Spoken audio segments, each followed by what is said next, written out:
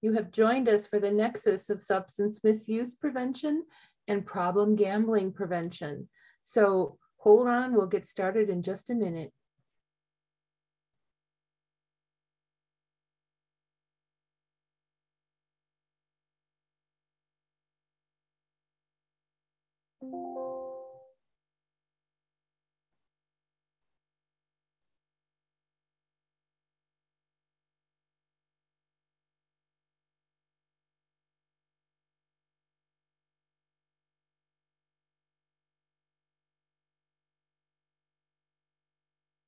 And good morning. We're at 10.01 and we're going to go ahead and get started.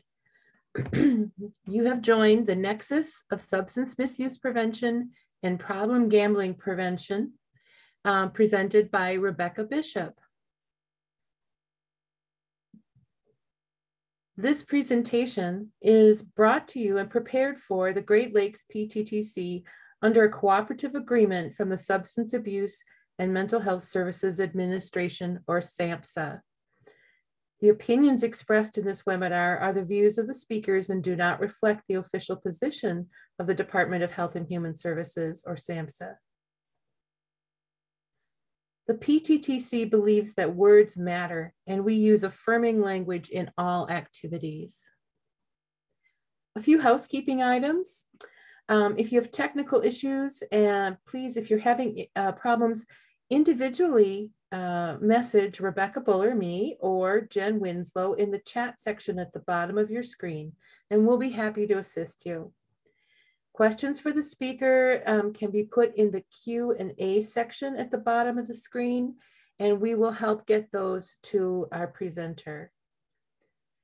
You'll be directed to a link um, after the event, and it's a short survey and we'd really appreciate it if you could fill it out. It takes about three minutes and it helps us to continue to provide high quality, low cost or no cost training opportunities. And finally, certificates of attendance um, will be sent out via email to all those who attend this, the full session. And it can take up to two weeks to receive those certificates.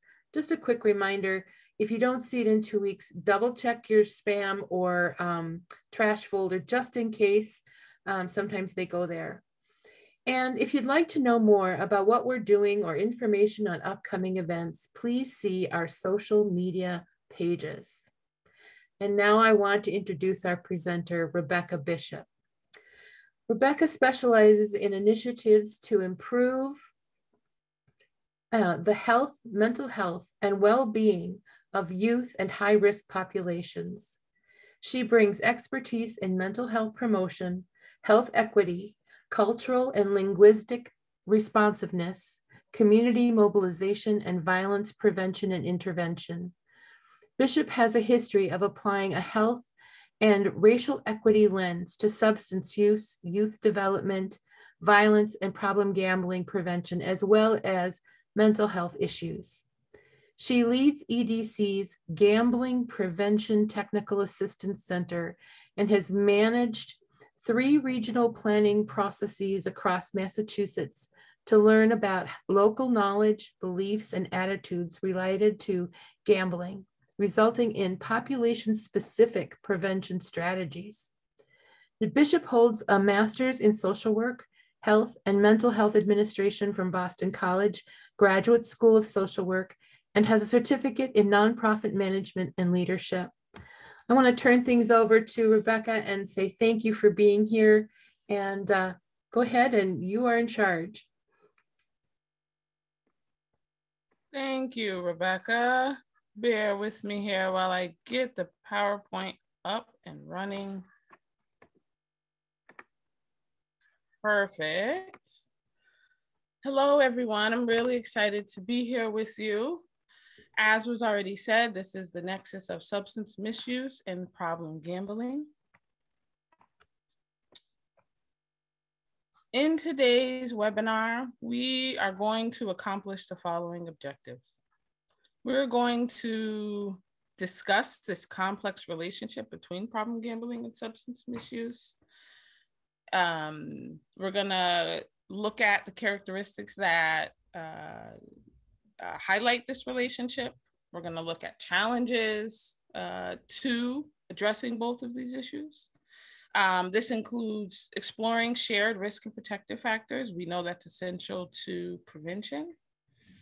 Then we're going to look at collaboration, barriers to collaboration, as well as collaboration strategies for uh, both this nexus as well as these fields to move forward uh, to address this nexus.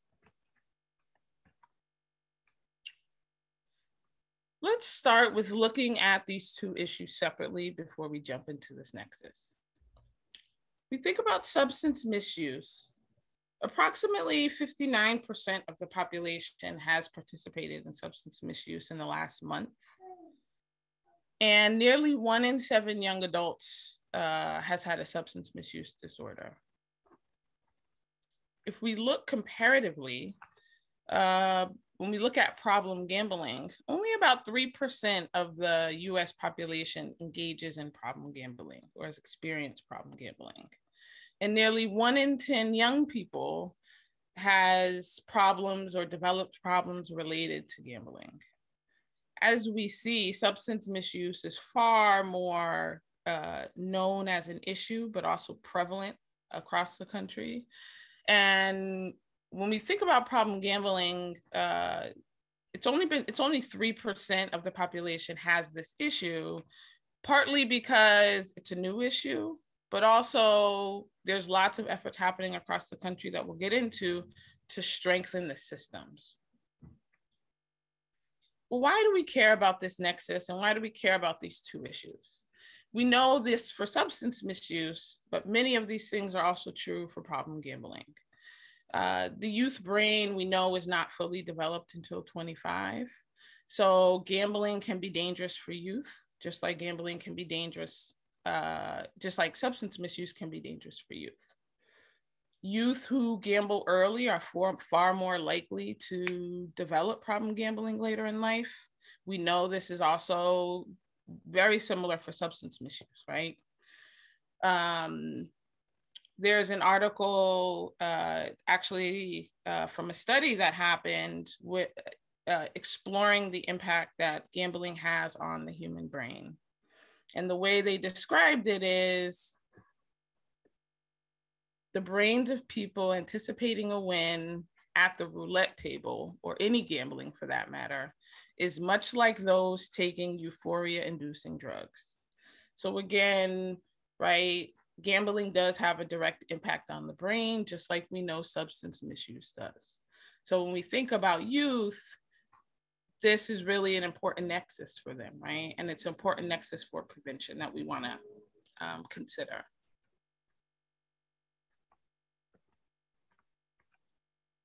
When we think about, uh, we know parental perceptions are really important to prevention, right? And the same goes for this nexus in this particular study of uh, parental perceptions of serious youth issues, you see here that there's a very high uh, perception of harm for drug use, for alcohol use, for drinking and driving, all public health issues that are well known, um, and there's been lots of work on them.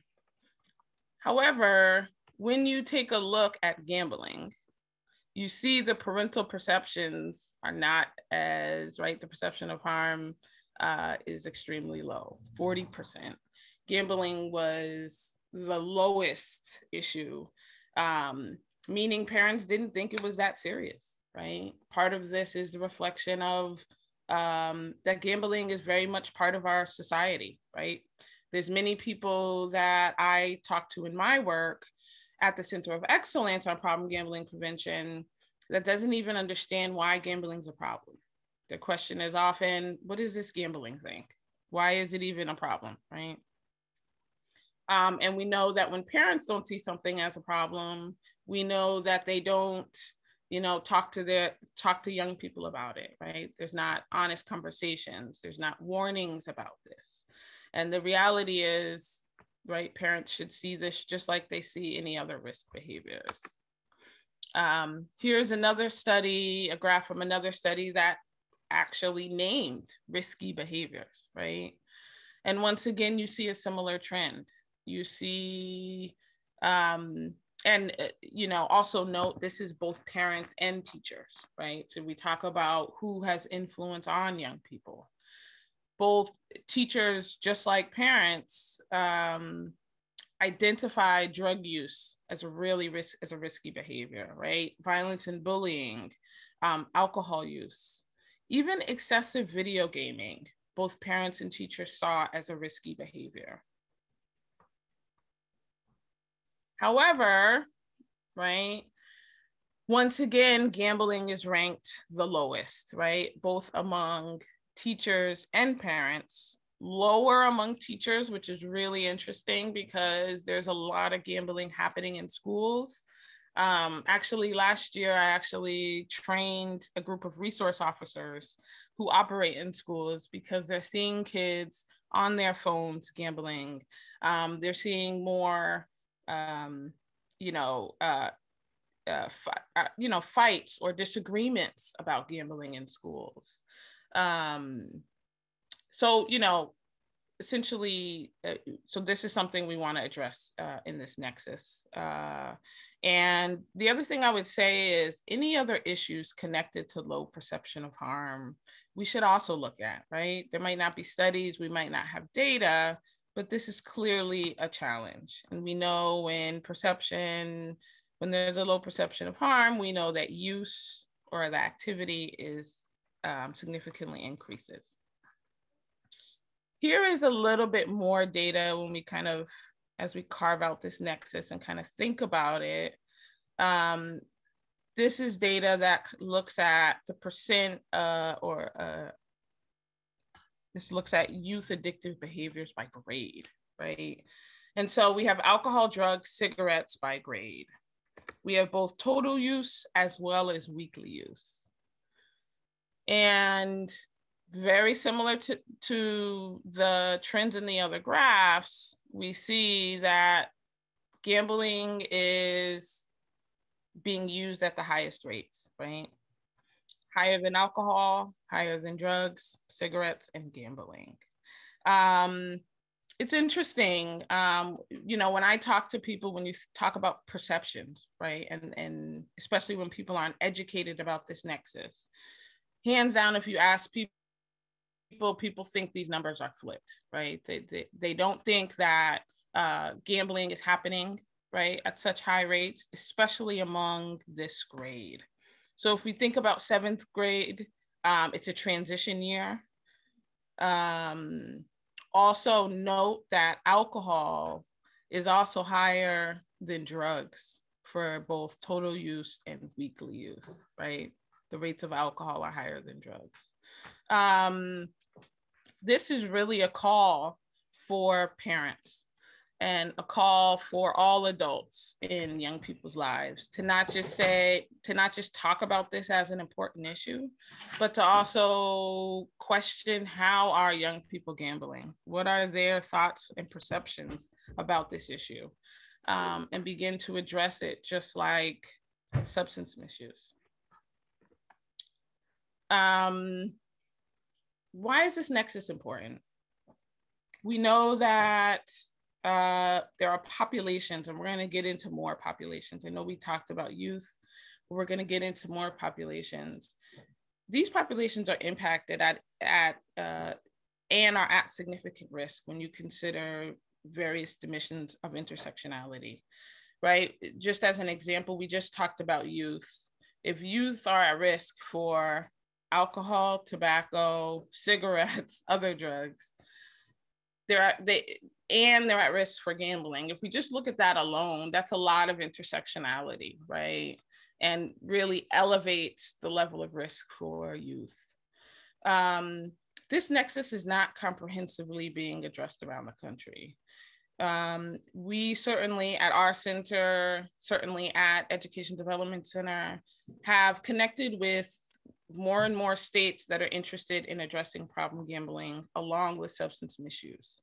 But there are also many states that are not even thinking about addressing these issues. Um, problem gambling can often be politically connected uh, to thoughts and beliefs about the issue at the state level, right? And so if it's a state that is not interested in bringing gambling to their state, it might not even be an issue that they're willing to address, right? Um, there are populations impacted that are not being served. One of the things we're doing in Massachusetts is we are specifically working with local communities um, and we're specifically focusing on prevention. Both of those things, when you look at certainly the field of problem gambling, um, both of those things um, have very little capacity. So, to my knowledge, we are the, Massachusetts is the only state working with local communities on this issue. Um, and so, if we think about the many other states, right, that have local communities that may have this need, they're really not being addressed. Um, and that's just really one small example. There's many, many examples of that. Um, addiction is a significant health problem, um, and it's being partially addressed. The reality is, we looked at brain development with problem gambling. The reality is, is that the same uh, public health supports that we have for substance misuse it's going to be really important to think about them for problem gambling, right? Because these two issues are so closely connected. Um, addiction is addiction, right? Um, I'll also just give one more example. In Massachusetts, we work with um, one of the populations are people who are in recovery from substance misuse. And we work with them to try to delay or prevent an addiction to problem gambling, right? And so if we only address one and not the other, again, it highlights populations that uh, get left out and don't get uh, the services they need. And then finally, um, I, I, can like wave a flag the whole uh, webinar, but there's a huge need for prevention for both this nexus as well as problem gambling. Um, it's going to be important to so so this nexus feels new right? Because not a whole not a lot of people know about it. Not a lot of people are addressing it but the good thing is we know prevention right and especially in the substance misuse prevention world there's lots of prevention science to pull from right also the public health field, right? And so we want to pull those best practices that we know and we want to apply it to both this nexus as well as new pro- new public health issues like problem gambling. Rebecca? Yes. You, we do have a question, and it was about one of the tables you showed recently. Um, we have another Rebecca who asked in the table with the grade level use um, depiction, does cigarette category include vaping? Do you know if this if those included vaping? I do not know if they included vaping. Um, this data is from it's about 10 years old. So it I, I doubt it, but I don't know for sure. It's a really good question. Really good question. Especially right. with vaping rates so high. Are there any other questions? All right, perfect. Thank you for that. All right. So um, let's move on to definitions and make sure that we're all on the same page with language. Sometimes this can get confusing. Um, we'll start with problem gambling. So the term problem gambling really is describing any behavior that compromises, disrupts, or damages personal, family, or, or vocational pursuits, right? Um, essentially, negative consequences, right?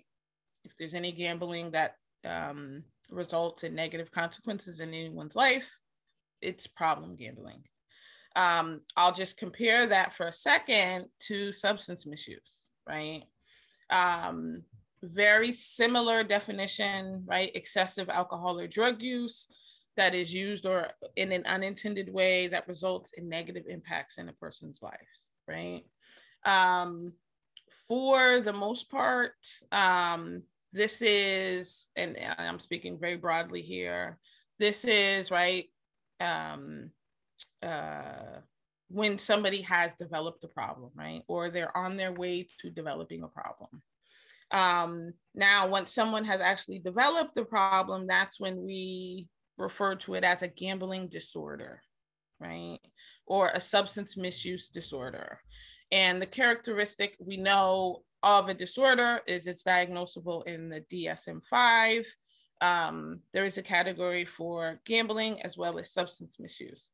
It is important to note that the categories in the DSM 5, these are connected. So the gambling uh, kind of grouping of symptoms were developed after or kind of mimicked after the substance misuse ones. Um, again, I think this really illustrates the connections between these two issues. Um, uh, so let's just remember this moving forward. Um, but this is language that we need to know as we kind of continue looking at this issue. Um, more language, and I'm going to focus on gambling because gambling is likely the new topic for folks on this webinar. Um, this is called again gambling continuum. And here's what's different about between problem gambling and substance misuse. So in the problem gambling world, um, just because you gamble doesn't mean that you have a problem, right? Whereas with substance misuse, once someone experiences substance misuse, um, it's obviously not they, they don't necessarily have a problem, but substance misuse in itself is an indicator. It is not necessarily the case in gambling. So the gambling continuum starts with no gambling, right? There are many people that don't gamble. There's lots of reasons why they don't gamble. Um, and then there are recreational gamblers. Recreational gamblers are people who gamble for fun. Um, this really is the large majority of the population right? Very similar to alcohol and drugs. Many people who misuse substances do not develop a problem. It's very similar for gambling. Many people who recreational gamble uh, do that, do so without negative consequences. Once you move on to at-risk gamblers, this is where people may begin to start experiencing consequences. So at-risk uh, uh, gamblers are people who are either at elevated risk for problem gambling, and we'll get into those groups, or they are people who um, uh, may have experienced some level or uh, of problematic gambling. For example, they cannot decrease the amount of gambling, um, the amount that they are gambling, right? or they may uh, spend more money than anticipated when they're gambling, right? So it may it, these are just indicators, right? It means they're at risk.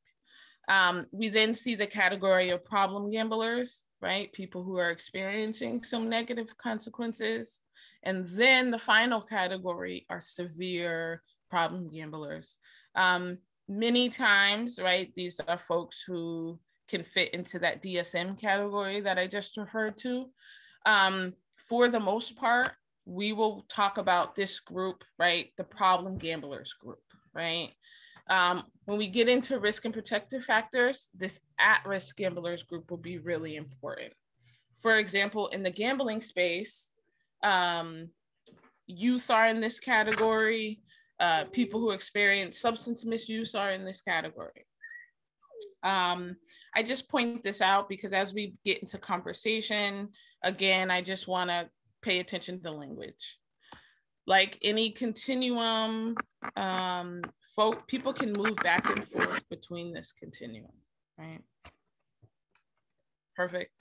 Um, I went through many of this. I won't kind of focusing, I won't focus on it.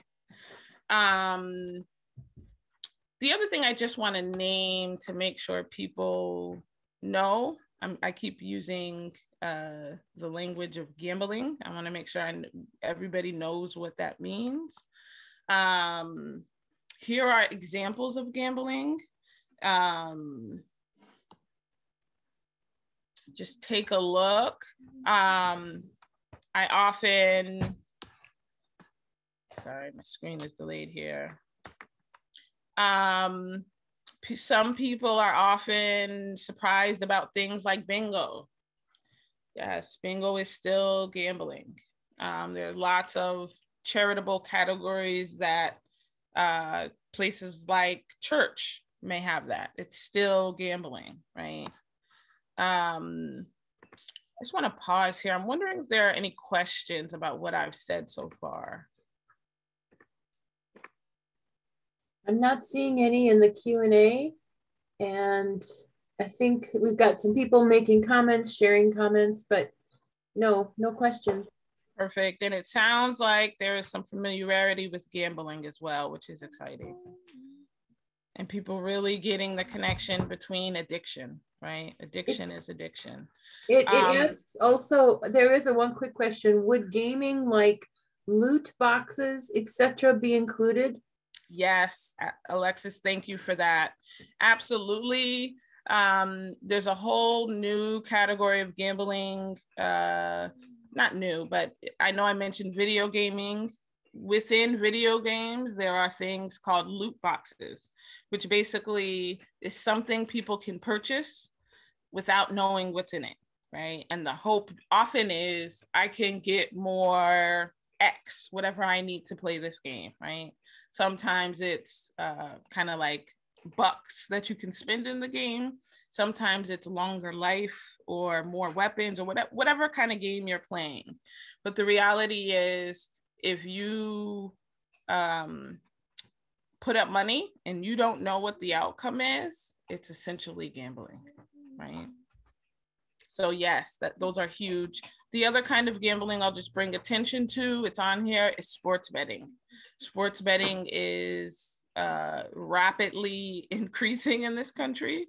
Um, and uh, I'll just give you a, a, an idea of how big sports gambling is. ESPN, if you go on ESPN.com, they have their own section for sports betting, right? This is big money, and this is things that youth will have access to, right? Youth at all ages, right, will have access to. So, great question.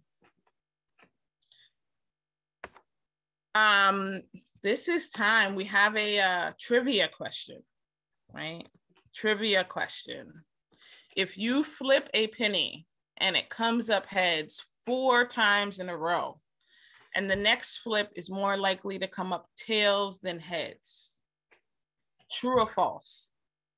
I'll say this again. If you flip a penny and it comes up heads four times in a row, the next flip is more likely to come up tails than heads. True or false? I see falses, but I see some trues. I see some falses. All right. 50 50. Nice. Absolutely. To an extent. So I love how everybody is thinking. It's a false, right? Just like everybody is saying. Um, and for those of you who said yes or to an extent, here's why. There's no relationship between the previous outcomes and the next flip of the penny, right? There's only two sides of the flip penny. Someone said it, it's 50 50, right? They are absolutely unrelated events. The penny is just as likely to come up heads as it is tails. Part of why I point this out, right? This is probability, is it, you know, one of the ways or one of the risk factors to for gambling, right? One of the ways to to say, is this gambling? To know if you're gambling is to explore probability, right? And it's actually a really good, thing. it's a protective factor if you understand this, right? Because you know it's not about a feeling you get, it's not about a dream, right? Some people say, oh, my, my, my, my hand is scratching, I'm, I'm, I'm gonna be lucky. It's not about any of those things, no superstition, right? It's about probability, right? And the numbers don't lie. The, re- the reason the lottery is so popular is because there's so many people that don't know this, that don't care about the odds, that don't consider the odds, right?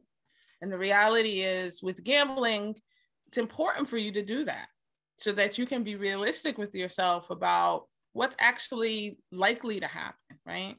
And we know people who understand gambling is connected to odds. um, it's a protective factor. So that those are often the people who say, you know what, I'm going to go to the casino or I'm going to gamble here, but I'm only taking X amount of dollars. Once that's gone, I, am done, right? It's not people who think, guess what, I feel it, it's, it's happening, I feel it, it's coming. It's not that superstition piece. So this is an important element of gambling, right? Knowing the odds. Here is one more, before I go on to that, let me just check uh, the comments, law of averages. Yeah, so I love, so Sally, I love what you're saying when you're talking about um, gambling often makes people feel good, right? And it's that dopamine, right? So we, we earlier in slides, it was right this comparison of what happens in your brain is something similar to what happens when someone engages with substances, right? And it's the dopamine. We're going to get into this a little more, but our brains have the same chemical reaction, right? And it feels good. Rebecca, um, there was a quick question too in the Q&A that says, what relationship exists between autism, ADHD spectrum, and drug gambling risk taking and addiction? Very interesting. So I cannot say for sure, but I will say in the gambling space, people with disabilities are a risk that's at our group that's at um, high risk um, for developing problems with gambling, right? And when we talk about this nexus, right, we know that these two issues often co occur at the same time, right? This is what we're talking about today. Um, we also know, and we're going to get into this more, we know mental health also often co- co- often co-occurs with these issues.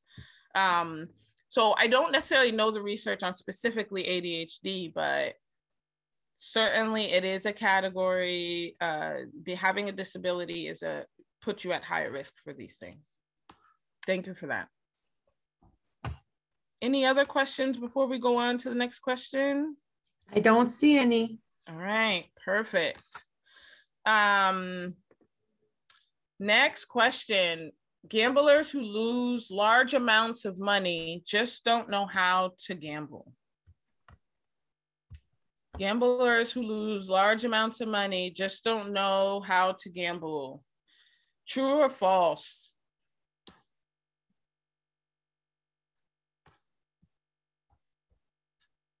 Nice. Nice. I love that somebody laughed. Believe it or not, we we actually have uh, a quiz, like a 10 question quiz we do with folks when they're learning about uh, problem gambling and you you'd be surprised right? Many most folks said false or disagree. You guys are actually correct. And it's really the answer that i thought would be really helpful for, for all of us as we're thinking through this right? Skill and knowledge play a small part in some types of gambling such as certain card games right but for the most part gambling is a game of chance and the gambler has very little control over the outcome, right? This underscores, right, really what we, again what we were saying about odds. But what I found is the language is helpful for people, right? Pointing out that skill and knowledge, right, have very little to do um, with gambling, right? Pointing those out specifically. Um, you know, I mentioned ESPN earlier. And if you talk to people who are interested in sports, those may be some folks who, right, they often look at stats of players, right? They want to look at their past performance to be able to try to figure out what they're going to do in future performances, right? And the reality is, it doesn't matter the, act, the gambling activity, right? If we stay firm to knowing the odds, if we're clear about skill and knowledge, just right, only plays a small part. That the person who's gambling has very little chance or control over the outcome. It will put us in a really good place to look at gambling realistically, if that makes sense. Also note that um, with substance misuse, these elements do not exist at all, right? Um, however, yeah, I think the comparison is really interesting. Um, my background is in substance misuse prevention, among other things. And when I came into the gambling space, I had absolutely no idea. Um, I also see another question. I'll just, uh, it says, is the kids arcade claw game gambling, John? Um,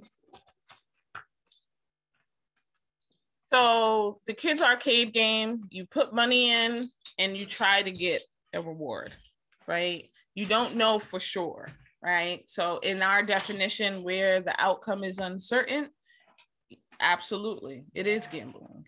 Um, we often talk about Dave and Buster's, right? Chuck E. Cheese. These are all companies created by the industry, really, to get families involved uh, in gambling, right? Um, it's also fun, right? There are many times you can participate in these things, um, again, and not experience negative consequences. But it is important if we're going to talk about prevention to talk about how young people are prepared, right, to play these games and think they're harmless. That that's that's not by accident. All right we'll go ahead and move on if there's no other questions. Perfect.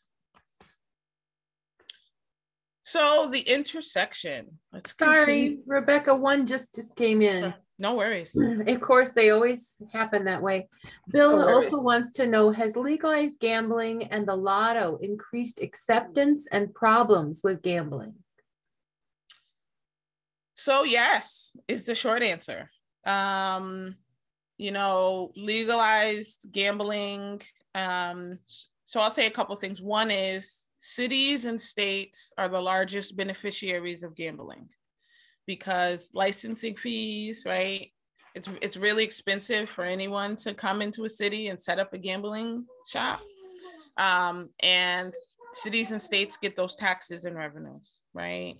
Um, and so because of that right they have they promote right they, they set up systems they support it uh, when casinos are built it's it's closely connected to community development so there's people in communities that get resources um, so yeah the acceptability uh, about gambling has significantly increased in this country when you think about the impact of covid um, on state budgets and really the need for to, to look for dollars and look for more money and resources. Um, many states have turned to sports betting. Many states have um, expanded gambling, even outside of sports gambling, right? Um, so absolutely. Um, and then there was another. Can you say the question one more time? Because I think there was one more piece besides the lottery. uh, sorry, do we lose more than we gain from legalization? That's from Bill. And Bill, did we answer the the first question fully, or the sec the your previous question?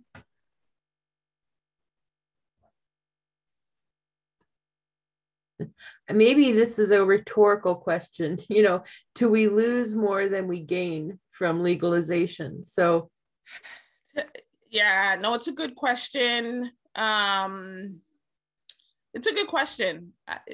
And so I talked about beneficiaries. Here's the other kind of consideration. In Massachusetts, we're really lucky that we have, we're really lucky in Massachusetts. Um, we have some of the largest amount of prevention dollars compared to other states, right? And the reason we do is because when gambling was expanded in the state, there were some mechanisms they um, built into the legislation that guaranteed a funding for prevention, right? And so, technically speaking, right, this is similar in some ways or in the substance misuse world. So technically, it is gambling revenues that go into a fund that fund prevention activities in Massachusetts, right? And so, to your point, um, there are benefits of expanded gambling, right? I, I, you know, there certainly are. There's no question, but there are also harms. And I think we're really lucky in Massachusetts because the state acknowledges those harms, right? Says we know there's going to be harms that come from this. And it's our responsibility to set up the state in a way that can make sure people who need help get the help that they need, right? So, you know, I encourage everyone to be, have this conversation. States should have the conversation. Organizations should have the conversation, right? The cost benefit analysis.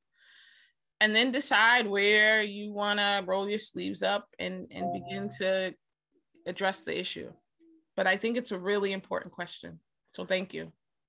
Rebecca, one more quick question. Larry's wondering in those figures for sports, um, gambling, does it include high school sports or is it professional sports only? So thank you, Larry. When it first came out, that was everyone's question. So to my knowledge, it does not include high school sports, but it does include college sports, which I think is risky.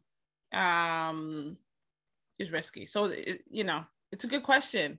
Um, there are lots of people who feel like um, you know, that because colleges and universities make so much money off the backs of college students, that college students should be allowed to not just participate in gambling, um, but they should also have access to more dollars, basically.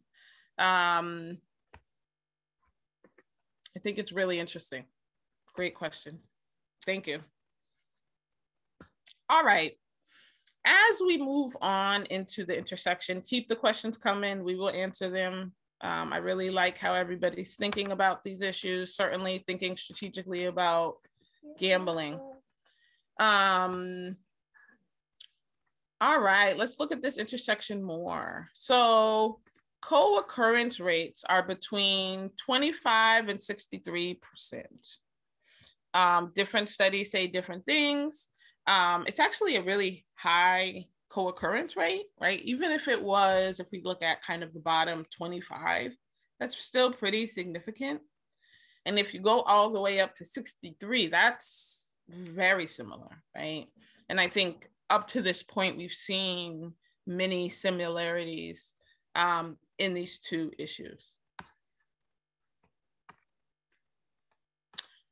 When we look further at comorbidities, uh, problem gambling rates among those who misuse substances are four to 10 times that of the general population, right? Here is that connection that I mentioned earlier.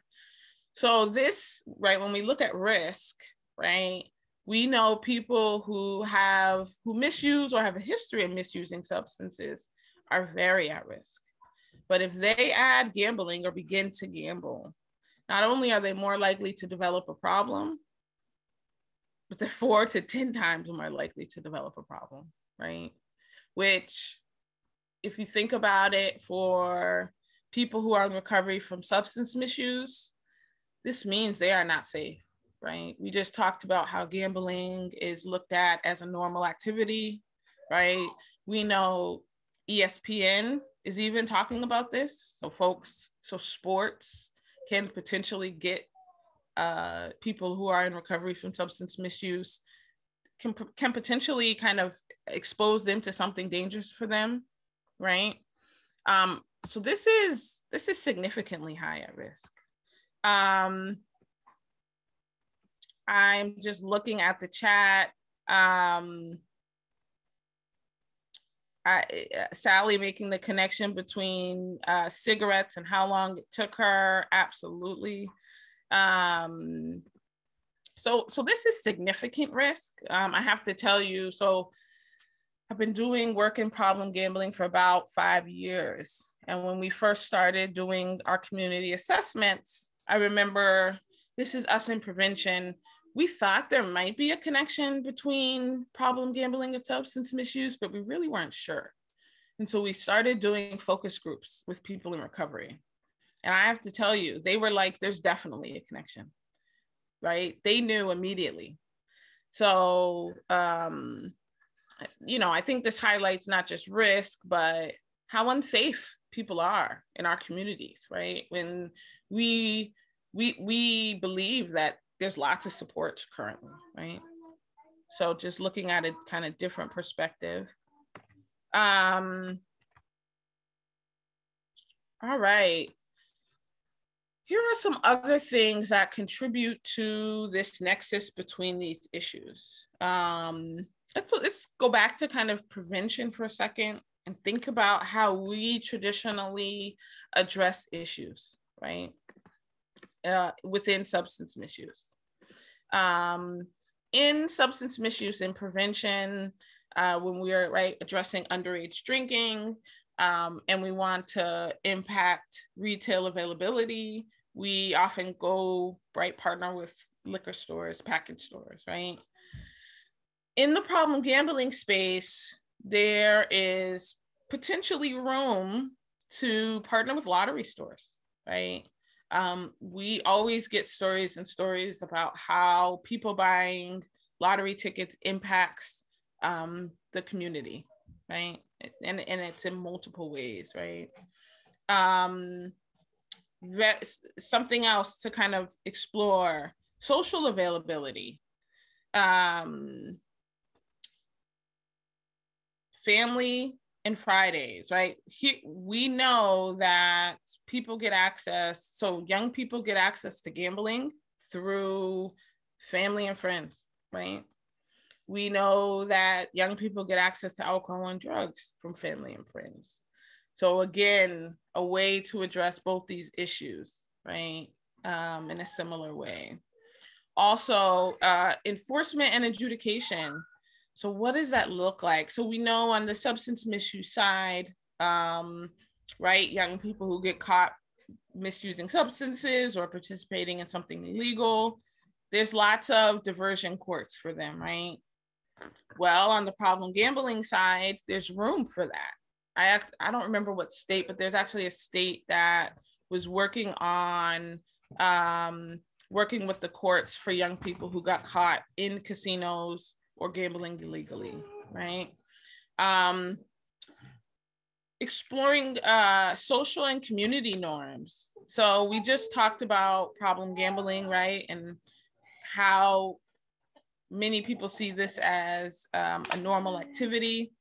The same goes, we know there's lots of stigma related efforts in substance misuse, right? I think about attitudes favorable to use, right? It's the same exact thing, right? Also, uh, promotion. If we think about positive risk taking, um, this is an issue that you can address with both substance misuse and problem gambling.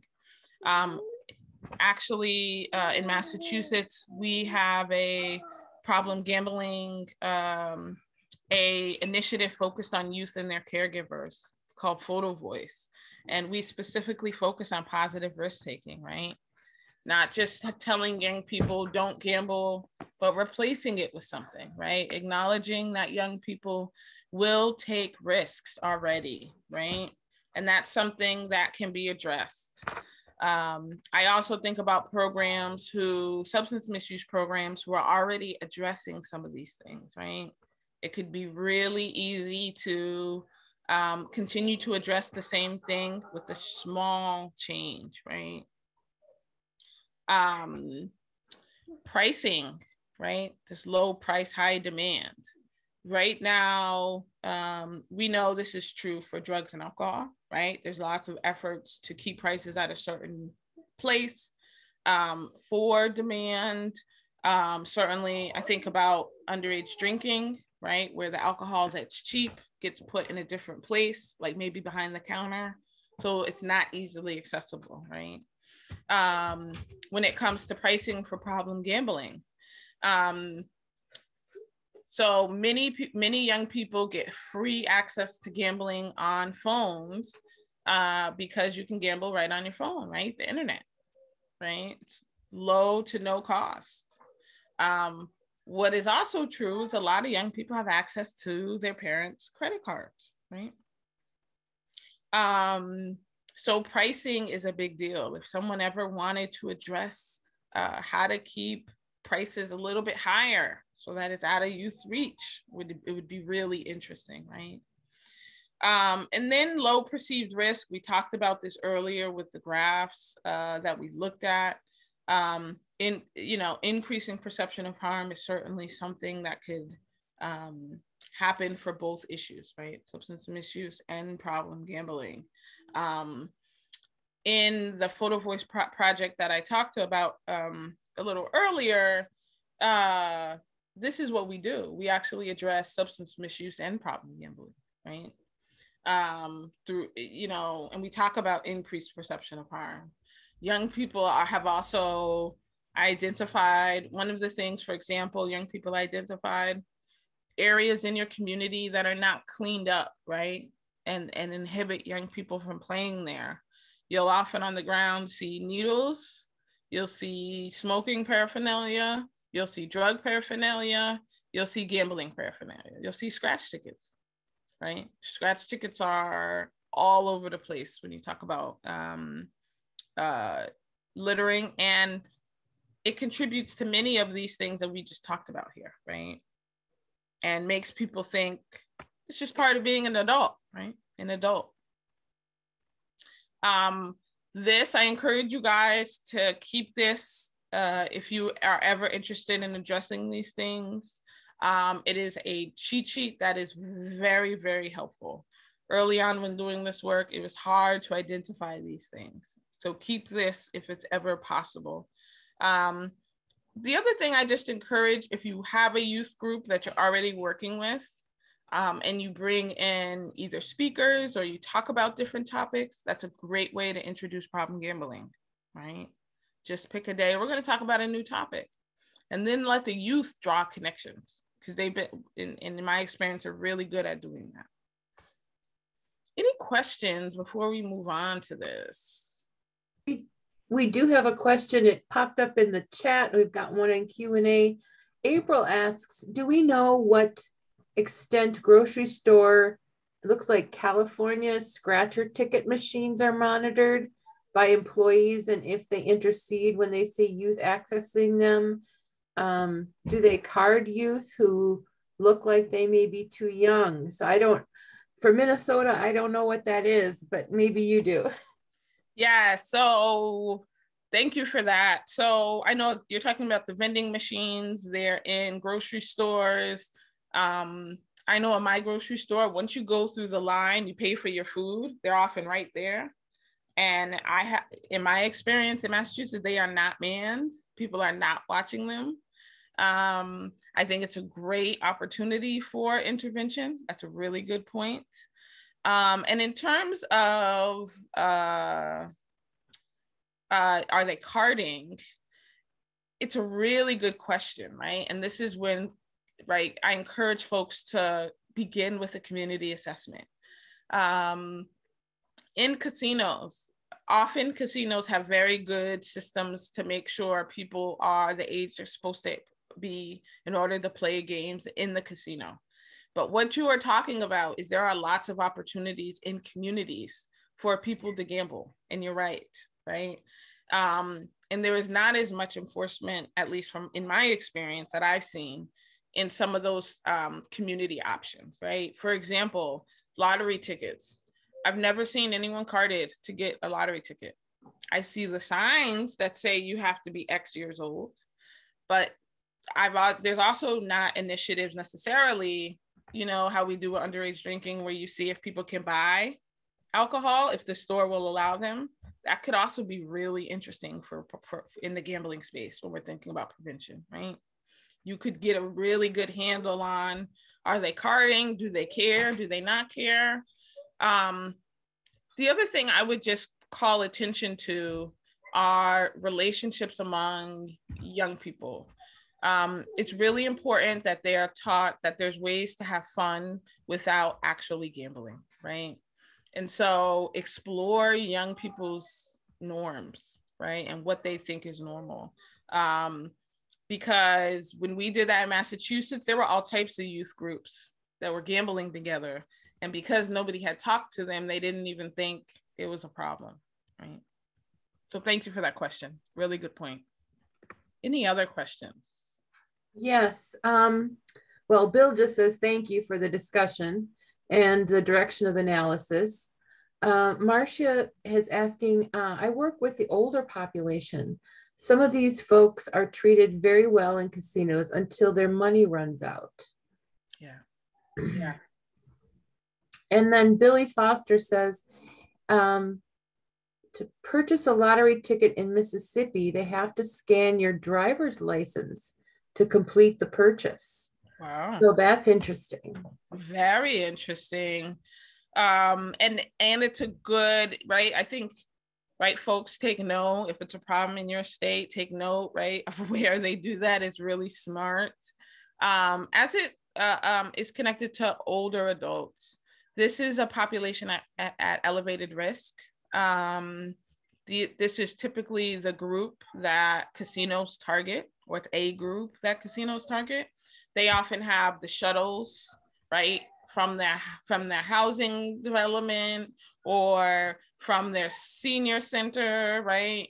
They have organized trips to casinos, and there are many people that use casinos for their um, interpersonal uh, development, right?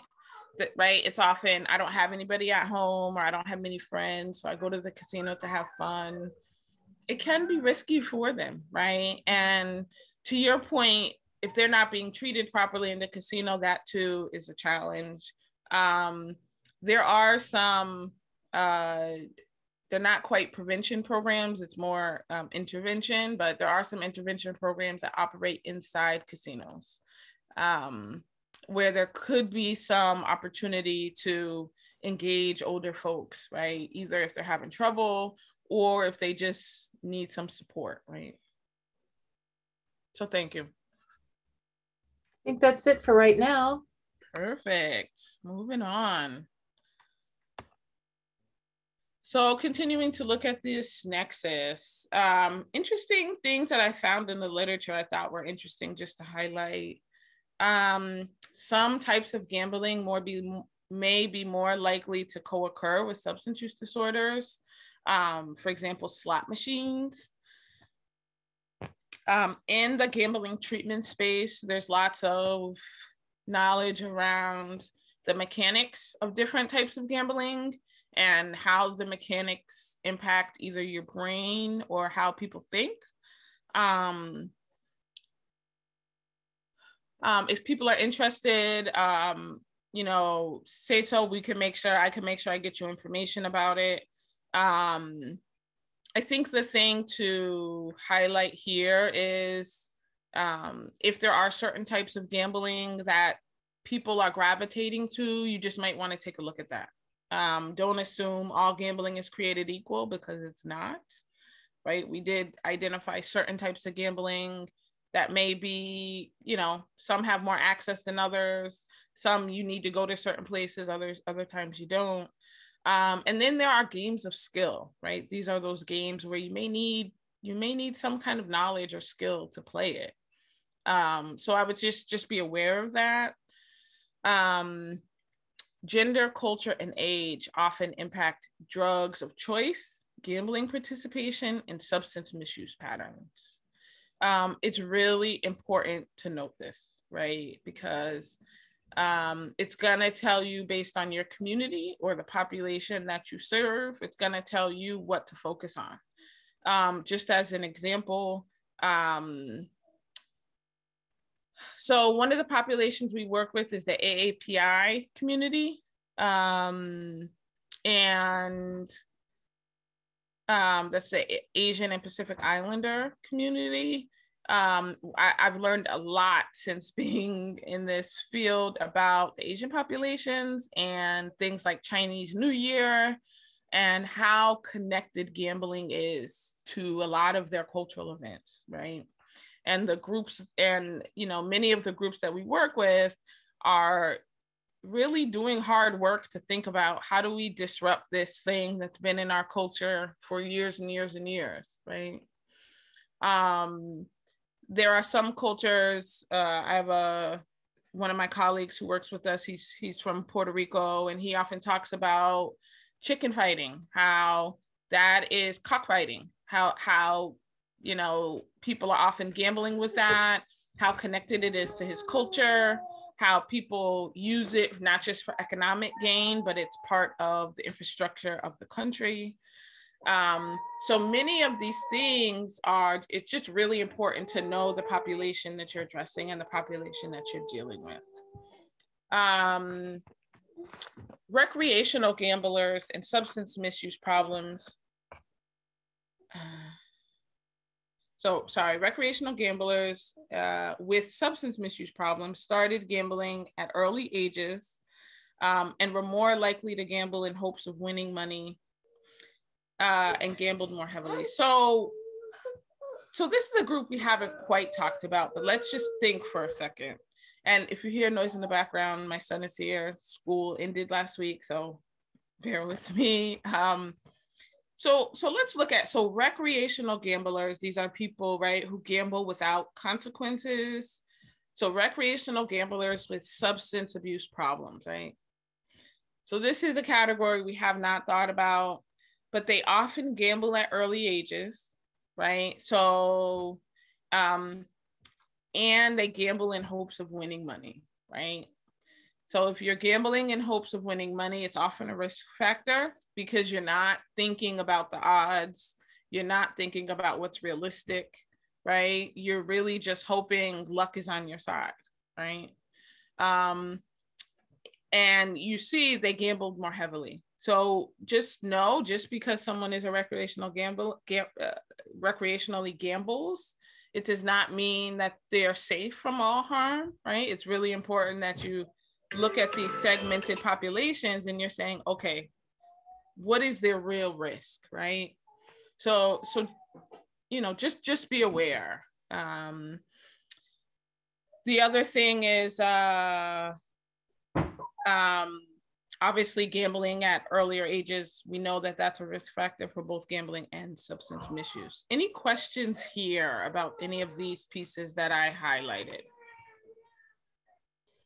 yes um, well bill's got a couple comments in the questions um, he mentions that many residential facilities allow buses to transport seniors to gamble and sometimes they're allowed a limited amount of money to spend Sometimes accessing the powers of attorney is needed.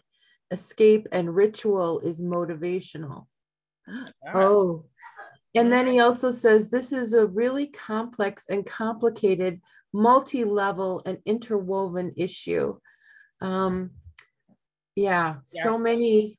I think, especially with these this older adult population, people have some really strong feelings about um, what's you know the concerns that we have absolutely thank you bill bill you're absolutely right. This is complex and complicated right? And this is why one we're highlighting this nexus but really encouraging people to take your time and really think about what this means for your community. Um, and that is i mean accessing powers of attorney right? Which for me infers more money right? It means the money they first went with might not been enough, or the money maybe they had left was not enough. They had to access more, right? Which is a risk factor right there. Imagine if uh, people who work in these residential facilities or the people who go to the casino with these older adults, imagine if they're trained in what to look for, right? Imagine mm-hmm. they have the opportunity to do some level of intervention or get them some support. Yeah. Obasi also says, how much does the lack of social interaction and engagement contribute to older adults' gambling behavior? A lot. Um, the older adults certainly that we've spoken to, they see often going to the casino or other gambling venues, they see it as entertainment, right? And you're right. They look at it like, well, I can talk to people there I'm in my house. I'm not, I'm by myself. I'm lonely. But let me go to the casino where there's uh, more people. And let's be honest, the casino has done a really good job of making the casinos a destination, right? Because there's not just slot machines, there's not just gambling there, right? There's often uh, live shows, right? There's eating, right? Massive restaurants. Um, there's also there's a casino here in um, Massachusetts. There's actually a um, movie theater, right? Shared parking, shared garage parking space. Then you walk in, you see the movie theater, and then there's the casino. So there's there's lots of things to do, right? Um, so it is. It absolutely contributes. Great connection. That's it for now. Perfect. Let's move on. Mm. All right. Continuing to explore behaviors associated with comorbidities to this nexus. Um, people with substance use disorders may use gambling to support their drug habits. Um, when we were do, working with, again, people in recovery from substance misuse, um, and we did focus groups, um, we heard lots of stories about this. Um, people who didn't have money to get high on substances. And so uh, this one guy he's told the story, he had a friend, couldn't get money to get high on substances. So he would go to the dumpster and he would find scratch tickets that weren't scratched and he would scratch them. And it would hold him over until he could get drugs, right? Um, be aware of this, um, but also think about how to use this information in your prevention initiatives, right? Everyone can be involved regardless where they are in the spectrum. Gambling can be a substitute activity that may become exacerbated upon abstinence from drugs. Um, I've actually seen this happen uh, when I worked uh, close to a treatment program. Um, and this was actually somebody who was in recovery, had significant clean time, um, you know, had moved on, was in a master's program, and uh, somehow ended up gambling and developed a really significant problem with it. Um, so be aware. This is also why it's helpful to address these two issues together because, you know, especially for high risk populations, you can keep them safe and it's, it's kind of like a double check off for lack of a better word um, because it really kind of has them check their bases. People with substance use disorders were more likely to use substances before or while gambling to enhance performance, ease the pain of losing, or enhance the joy of winning. If we think about it, right, gambling and using substances often happens in the same place, right? If we think about, we know at the casino, people um, have access to free alcohol when as long as they're gambling, right? Um, if we think about family functions, right? when alcohol comes out, what also often gambling comes out. I know in my community, right, the Black African American community, if the cards come out, the alcohol's coming out, and people, the money comes out, right? So um, uh, just note that, right? Um, this is often why in treatment programs, substance misuse treatment programs, they are not allowed to gamble, right? So be aware of that as well. Gambling can be a reinforcer of drug use and an obstacle to success in treatment. So if gambling is not on anyone's radar and someone's in treatment, but they are gambling, that can inhibit their progress, right? Um, one of the people in recovery who became a gambling ambassador. He was doing some peer to peer work, educating others about this nexus. And he actually came to one of our TA meetings and he said he had to, he had to, you know, have a one on one with himself and say, What are you doing? You can't, can't be educating people about this nexus and buying scratch tickets right and he often talks about his journey to realizing this right uh, people with a history of problem gambling and substance use disorder histories were more likely to have attempted suicide at some point in their lives. Yet another public health issue that puts people at risk, right? Especially this nexus, people who are impacted by this nexus, right? Um, separately, if we took these issues, problem gambling, substance use, substance misuse, suicide is co-occurs with both of these. So when we put this nexus together, that level of risk significantly increases. Um, and then finally, polysubstance users were more likely to exhibit serious problem gambling than those with only one substance addiction, right? Um, again, elevating risk, right? Elevating risk. Uh, we also know polysubstance users are at elevated risk for a whole range of other things as well, right? Any questions about this before I move on? We've got a couple questions. Um, someone said, I heard that social media is made to work similar to a slot machine. So is that, have you heard that in this work? Um, not necessarily social media um, but not necessarily social media. I, I wouldn't be surprised. I don't know the kind of technology behind that. Um, they certainly work in concert together. So, for example, um, and I'm going to say this if you're at risk, or um, if you're at risk, just I, I would not do this if it would put it put you at risk.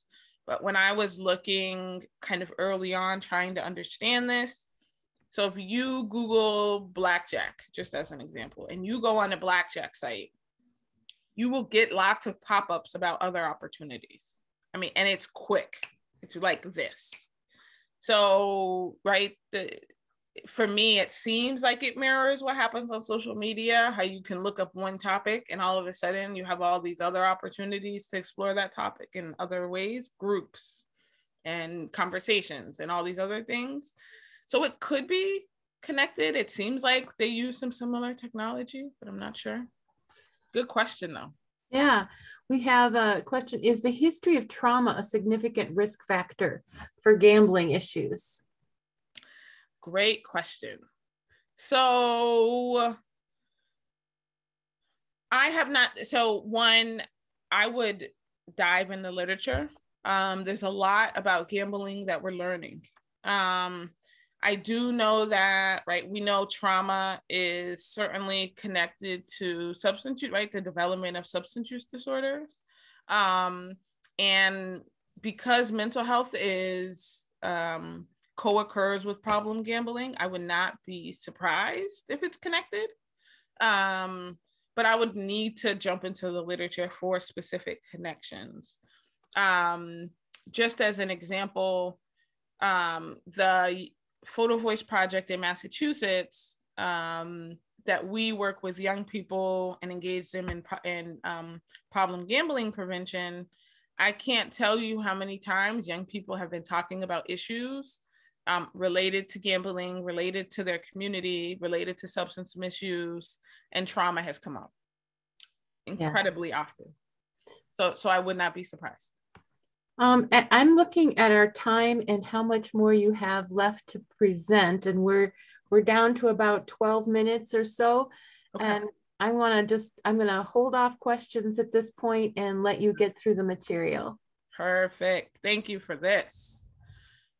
So we just talked about mental health indicators, right? Um, they certainly are connected to this nexus, right? And and we can imagine lots of ways to explore that.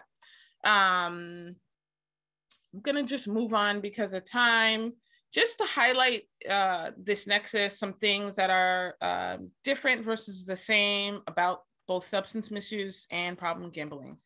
Differences is that gambling is known as the hidden addiction. If you know if someone scratches scratch tickets, you have no idea that, and they come into your house, you have no idea they did that. Whereas there are usually some smell or look or kind of indicators you can see with substance misuse. Um, you cannot overdose on gambling, right? It's often where suicide comes in because people can't, there's just a compulsion to keep going, keep going, and people cannot handle it after a while. Um, there's no test for problem gambling. This is why it's so important for people to, to speak up and say, hey, I'm struggling. Um, because there's no other way. And then there are fewer resources for gambling than there are substance misuse, right? We've we've talked about this the entire kind of webinar here. Um, similarities, you can see them here. I'll just call out a few. There's both legal and illegal forms for both of these issues we've been talking about. It's, you know, I encourage you guys to explore both of them. We talked about how both are regulated and promoted by the state, um, can produce negative consequences, right? How culture can influence the use of both. And then the following issues we talk about often, right? Tolerance, stigma, lack of services, and recovery is possible, right? The most important thing to remember. Here is the continuum of care.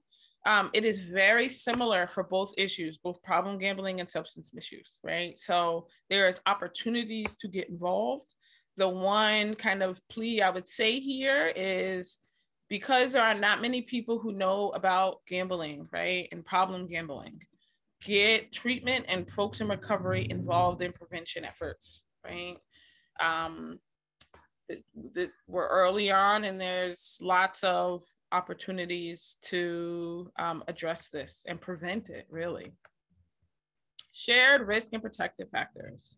Um, we have seen the kind of uh, multiple layers of risk for various populations. And so let's not forget about really we want to make sure everybody is served right? And gets the resources they want. And if we want to do that um, accurately, it's important that we focus on health equity, right?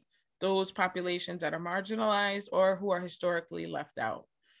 And if we want to really achieve or address health equity, we can't just address these issues in isolation. It's important that we um, improve access to conditions and resources that influence health, right? And here are some examples of that um, it's very possible to do both. Um, and if we want, and a lot of that can happen through environmental strategies, right? There's that prevention science that we want to continue to uplift. Um, gamblers who seek treatment are generally white, middle aged, while gamblers identified in the general population are likely to be women, minorities, and people with lower education. What are the implications of this? Because of time, I won't go in, I won't kind of have you guys sign, chime in, but if we think for a second that the people in treatment are generally white middle aged men, while women, minorities, and people who have lower education are found in the communities. Often, what that means is women, minorities, and people with lower education are often not connected to treatment and yet they have problems with gambling. And so, part right, that means that efforts to connect them to treatment need to be strengthened, um, but also prevention efforts, right? Um, I mentioned in Massachusetts, um, we have resources, so we're kind of ahead of the game with prevention. At least we've gotten started. I strongly encourage folks to look at prevention when it when, when we think about this explore, identify these populations in your community, start having conversations about gambling and the impact that it has on them. If there are treatment programs, have conversations with them. Who, who are you reaching and who are you not reaching? Right? All of this will push equity forward um, and make and make it so that more people have access to help the social ecological model, we know that this model is essential to prevention, right? And um, essential, it's essential to making sure that we can address various levels of our world, right? Um, we can also use this to explore risk factors, right? And see how to protect these various levels from experiencing negative consequences. Um, here are some shared risk factors for this nexus. Um, I encourage you guys to take a look.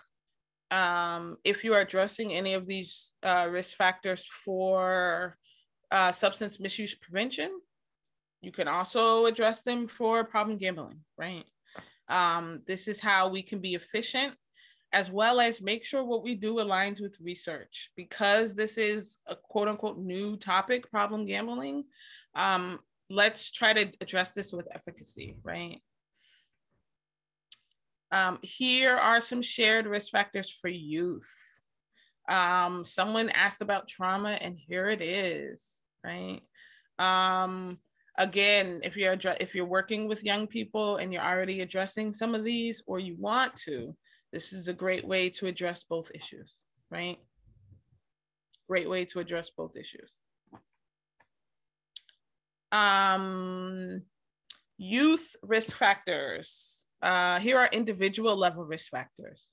If we look at this, these risk factors, it, it should be no surprise, right? Because if we think about it, we know with young people, the young people who are in trouble are often the young people who have, right, the ones who are impacted by substance misuse, they're impacted by gambling and mental health and a whole range of other things, right?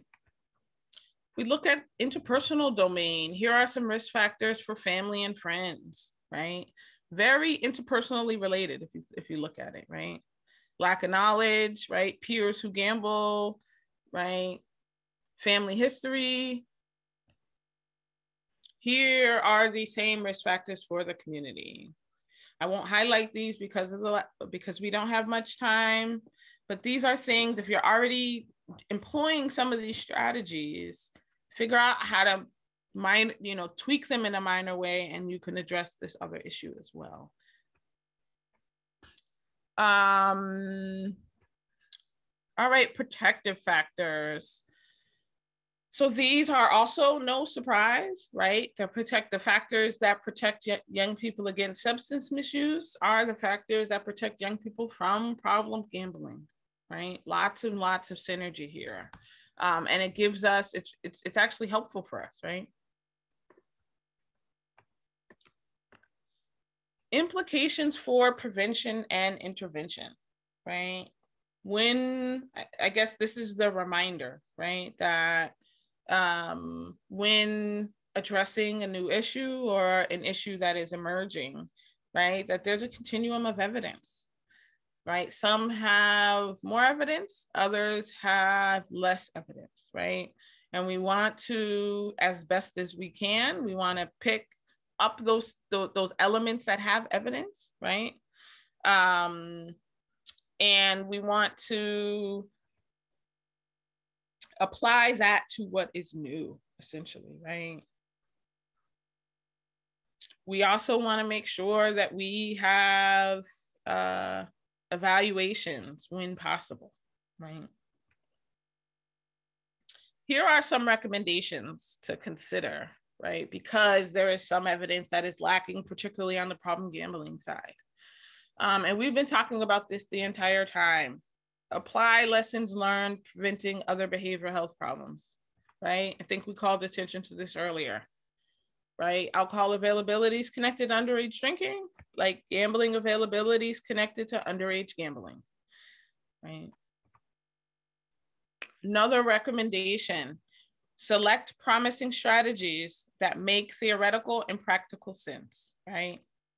This is a uh, communications campaign from Massachusetts, um, right? Drugs, alcohol, gambling, different story, same problem, right? Applying those same strategies that I would that we would otherwise in substance misuse to here, and make the connection for people. Right. This is one of the good things about highlighting this nexus. People don't have to guess. Make the connection right away. Finally, evaluate, evaluate, evaluate. As I just mentioned, uh, document both the story of your intervention. What did you do? What worked? What didn't work? What components did you add? What did you omit? Why? And what were your expected outcomes? If you don't have dollars for an evaluator, if you document these pieces, you can give that later on to an evaluator to, to evaluate your work. Very helpful. Um, the other thing you want to do is you want to stay on message. There are some things that we know about substance misuse that we want to really pull through here, right? We want to remember the levels of prevention, right? Um, you want to be clear about your goal when identifying your level, right? Again, as I mentioned, you know, in, in the problem gambling space, youth, right, are really secondary prevention, right? Whereas maybe substance misuse efforts, they're primary prevention. So you really want to focus, uh, right? Remember these levels of prevention and act accordingly. You also want to focus on your population, right? Universal, selective, and indicated, right? Uh, interventions that target the general population, we know are universal pop strat uh, interventions. An example, youth development programs, right? Those are programs that address any issue, right? They just want to make sure youth are healthy. This is a great place to address this nexus. We mentioned the media campaign already. Selective in interventions. Examples are interventions for children who um, have parents who have a gambling disorder, right? Another example, as I mentioned, interventions for youth who are actively gambling, right? That puts them at risk. Um, and then finally, indicated interventions. An example of this are interventions for people in recovery from substance misuse. We've been talking about this the entire time as well. So just be aware, you, you know, it's really important to figure out where in this nexus you're targeting and um, what your goals are, right? Finally, uh, we want to adhere to what we know, right? SAMHSA's six prevention strategies. Let's not recreate the wheel for this, right? Um, this can be, right, information dissemination, giving out information about problem gambling at your substance misuse um, events, right? Um, or vice versa. The organizations who are funded for gambling give out substance misuse prevention information at their events. Um, and you could do the same with uh, education, right? For example, this webinar is a great example about this nexus, right? Um, alternative activities, regardless of the topic, we know young people need safe, healthy activities to participate in, just as an example, right? So don't recreate the wheel, go here because we know evidence lives here, and then build on that. And then uh, here are some examples. I think I, I mentioned them, right? Programs, substance misuse programs, including gambling prevention elements, and vice versa. Um, innovate by applying lessons learned from other behavioral health programs. This, right, the violence prevention, the suicide, as well as other issues. Lots of you guys uh, mentioned in the chat. Um, perfect. So challenges and opportunities to collaborate. Um, here are some barriers to collaboration. Um, there's often different funding sources that tell you, no, you could only address this issue with this population, right? If you have other funding that can kind of either um, cushion or be a stopgap between these funding, it's this funding, it's really helpful. It's also helpful if you find populations that are interested in another issue, right? You can potentially still use that funding and include education about this other issue. There's a lack of problem gambling funding, um, you know, across the country right now. There are efforts at the national level to, to change that, but it's really hard when you don't have funding to do the work, right? Even if you want to there's a lack of prevention research slash EBPs in the pre- gambling prevention world, right? Right now, we are doing the best we can, right? Looking at evidence and trying to kind of piece this together, but there are some gaps, and it's important to know that. And then finally, lack of knowledge about this nexus. Um, collaboration strategies. So build awareness about this nexus. Um, I really encourage everyone here after this webinar, go tell one person about it, right? Um, ensure you're adding underage gambling questions to community surveys. Um, really, really important because this will give us local data about what is happening in local communities. And we just don't have that right now. Even in Massachusetts, we only have state level data. We do not have local level data. Um, develop uniform prevention messaging so multiple issues can be addressed at once. This is so important. And this is what can help you, especially if you're not funded to address a particular issue. If you stay on message, you can really protect the young people in your community. Um, moving on, uh, build program and organizational capacity to address this nexus. Um, we just identified a couple things in this webinar about problem gambling. There's lots more to know. And so it's really important to educate yourself, educate your organization, and think about what you need in order to be able to address the issue. Um, I won't highlight others because of time, but I strongly encourage you guys to take a look at this and figure out how you can partner. We know a lot of this comes from partnership. Um, let's see. All right, we got to the end.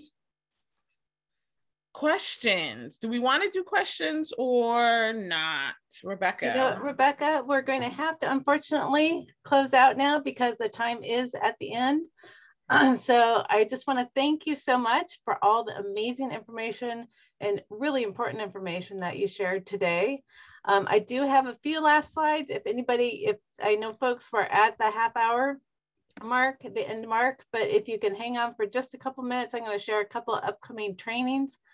I encourage you also to follow and like our Facebook page. I did um, include a post as we were, as Rebecca was going through today. I put a post on there for people to be able to add additional resources that you identify on this issue. I know Ruth, you put in a few uh, great articles. I was wondering if you might be willing to post those there.